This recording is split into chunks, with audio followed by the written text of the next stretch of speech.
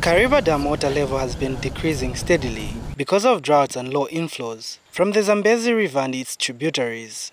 As of December 2021, the water levels at Kariba Dam decreased to 478.32 cubic meters, while decreasing further in 2022 to 475.62 cubic meters.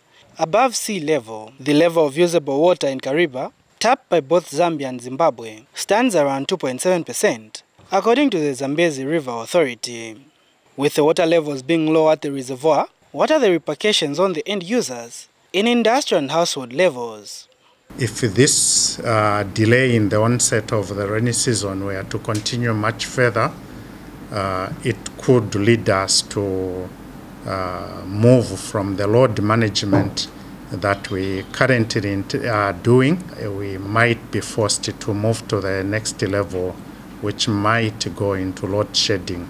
Wesley Rindi is ESCO Limited Director Power Generation, who outlines the alternative plans by the power utility company to service customers amid the current status quo. We are also embarking to, into other renewable sources of uh, solar and wind in the long term.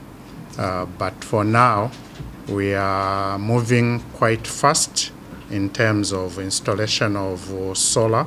Kefas Musewa is Senior Station Manager at Kariba North Bank Power Station, who explained the transmission process of the in-house generated power. But due to the challenges that we have, we are only generating 120.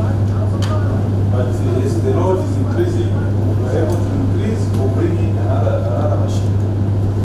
The Zambezi River Authority also gave an update on the maintenance and rehabilitation works being carried out at the Kariba Dam. The refurbishment of the six gates on the dam wall and changing the shape or reshaping of the 80 meter deep plunge pool to allow for quick dissipation of the water and energy downstream. If the water collection in the upper and lower catchment areas that feed into the Kariba Dam remains low, power generation will be affected, worsening the load management into a possible load shedding.